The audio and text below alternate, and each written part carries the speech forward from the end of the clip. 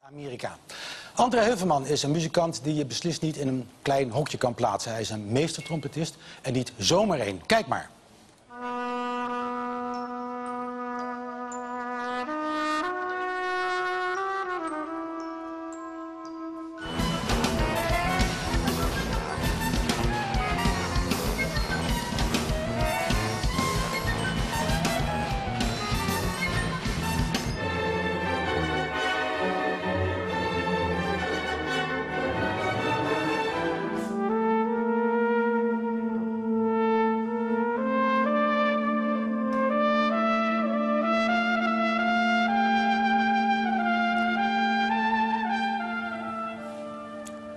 Ja, André, je bent een heel veelzijdige trompetist. Van zag je in dat filmpje bij het Nederlands Blazersensemble.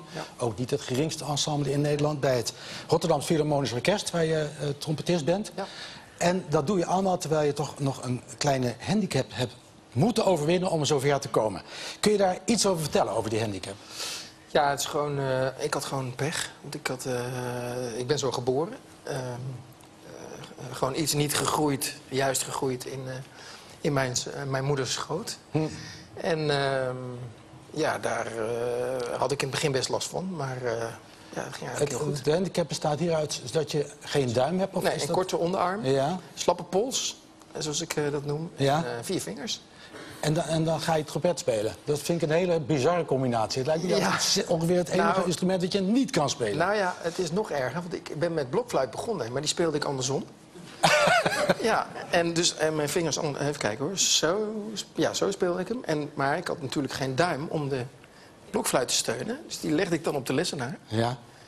En, eh, en dan speelde ik. Maar, en, en dan nu de trompet. Ja. Ik bedoel, ehm, dat is een zwaar ding, verhoudingsgewijs. Ja, En nou ja, daar ben ik ook per ongeluk, want mijn lerares pleegde zelfmoord. En mijn ouders wilden het niet vertellen. Dus mijn vader zei, ga jij met trompet spelen. Zo Ja, ja, zo. Ja, eigenlijk een hele logische stap, als je het zo beschouwt. Ja, het is niet anders, maar het is echt zo. Maar hoe leer je dan met, met, met zo'n zwakke onderarm zo'n zwaar instrument te dragen en te bespelen? Nou ja, ik, ik, eh, ik, mijn vader had er iets op gevonden, een leren lap. En daar zat zand in. En, de, en eh, die arm moest dus sterker worden om die trompet te dragen.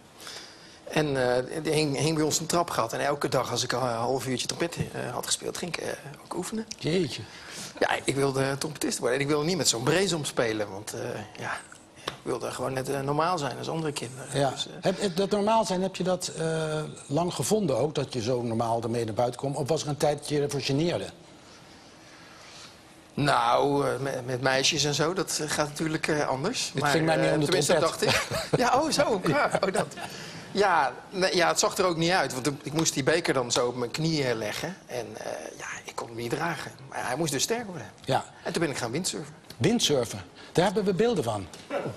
Kijk, Zo. hier is de jonge André Heuvelman met eh, toeristische dingen bezig. Ja. En waarom is dat dan iets waar je, waar je wat aan hebt? Nou, dat kost nogal eh, hier nog niet zoveel. Maar dat kost best veel kracht. Om, zeker als je wat tegenwind krijgt. En ehm, ja, het is toch mooi dat ik, eh, zoals eh Sherry Duins zegt... dat de wind mij de kracht heeft gegeven om mezelf ook lucht te verplaatsen. Ja, een mooie documentaire, heeft Sherry Duins over je gemaakt. Eh, waarom ben je nou zo verzot geraakt op die trompet? Is, dat de klank, is dat eh, het bereik, is dat de combinatie met andere instrumenten?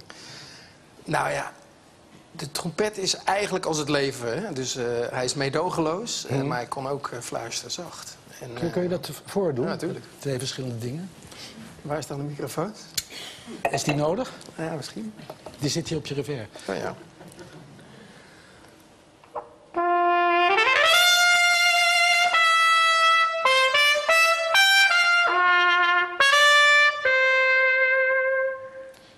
Dat is eh, niet het fluisteren. Dat is niet te fluiten. Nee.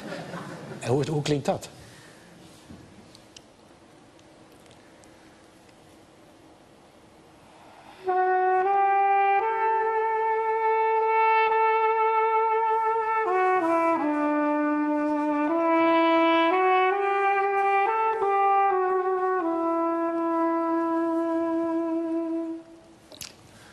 Dat klinkt mooi. Is dat, dat, dat is die, die drive om muzikant te worden bij jou? Is dat eh, een, een Nou, manier om je gevoelens te, naar buiten te brengen? Of wat is het?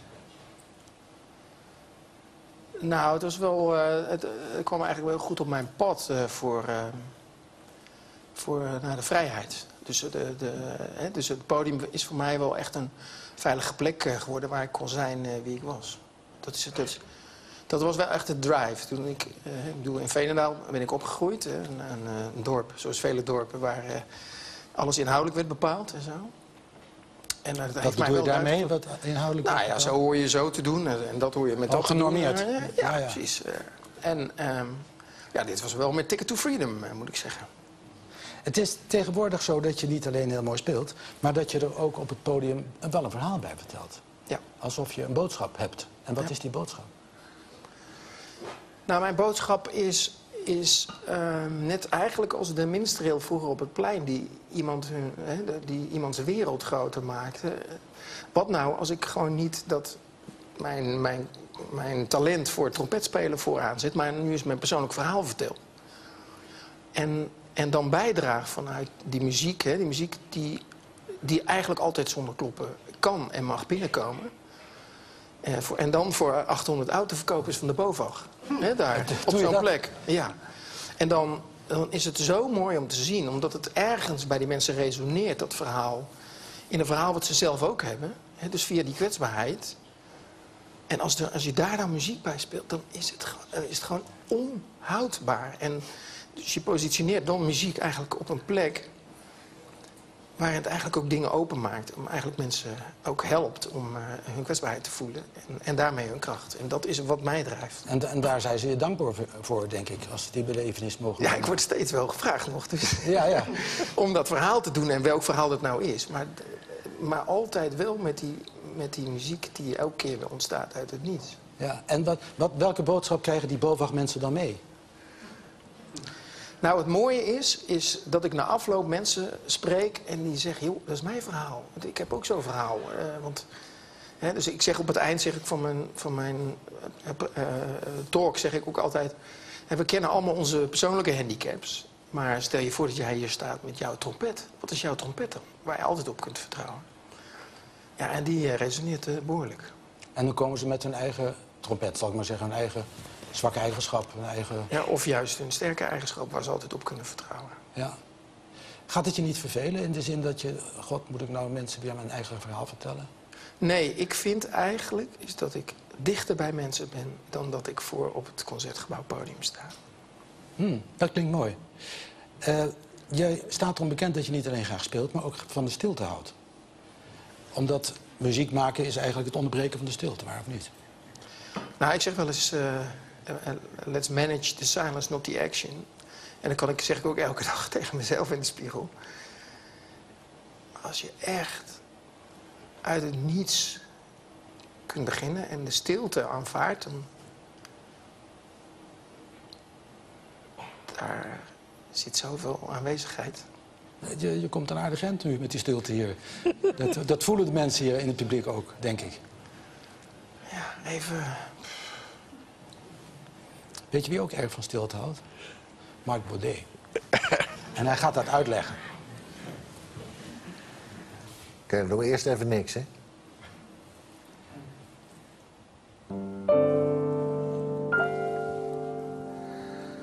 Al bijna heel mijn leven lang ben ik bezeten van muziek, de kunst van zinderende lucht. Van het grote spel van spanning en ontspanning, dat de ruimte tussen mensen overbrugt. En je bent geneigd te denken dat de keuze van de juiste noten de essentie is. Dat het gaat om welke snaren je laat trillen. Of slaan wij de plank dan toch een beetje mis? Er is nog een grote factor die een rol speelt bij het opbouwen van spanning in muziek.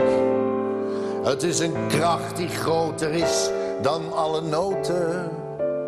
En die speelt met de verwachting van het publiek. Het is de wonderschone werking van het niets doen. Van het maken van een levensgroot verschil. Tussen klanken maken en er juist van afzien. Het is de grote kracht van oorverdovend stil.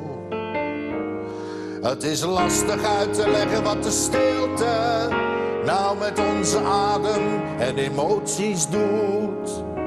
Misschien kan ik het het beste demonstreren. Dan begrijpt u het waarschijnlijk heel erg goed.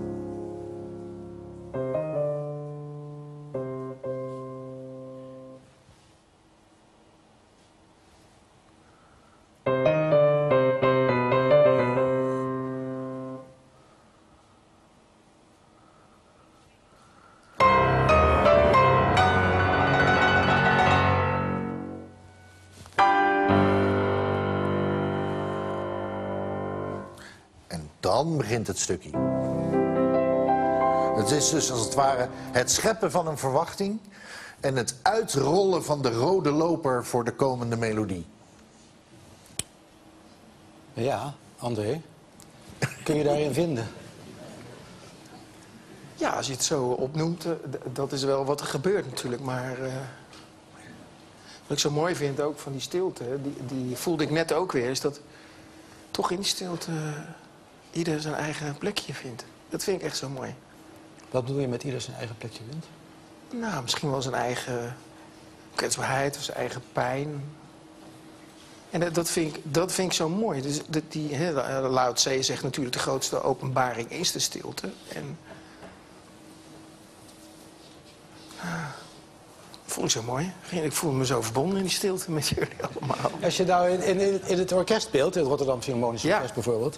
Eh, dan speel je het grote repertoire van nou ja, Beethoven, symfonie, Brahms, weet ik veel wat. Ik weet niet of daar een trompet in voorkomt trouwens, maar Nou ja hoor. veronderstel ik eventjes.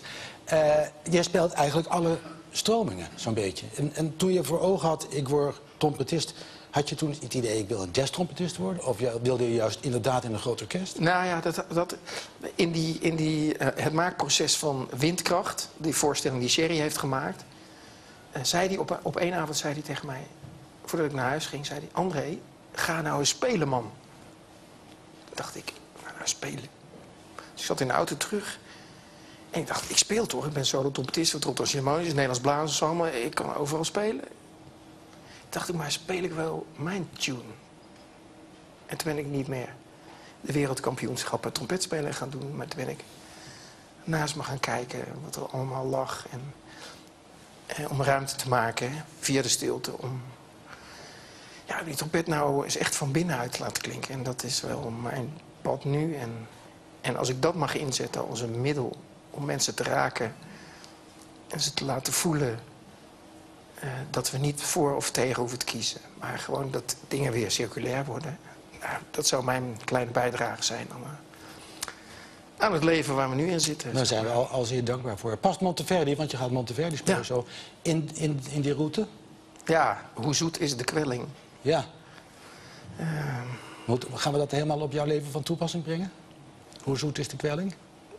Nou, dat is ook eh, op jouw leven misschien. Of... Oh jee. Ja, maar- Eh, ik zou je willen vragen om... eh Dankjewel. Dankjewel, André. Dankjewel. André Heuvelman, dames en heren, die gaat spelen van Monteverdi... Dolce e il Tormento.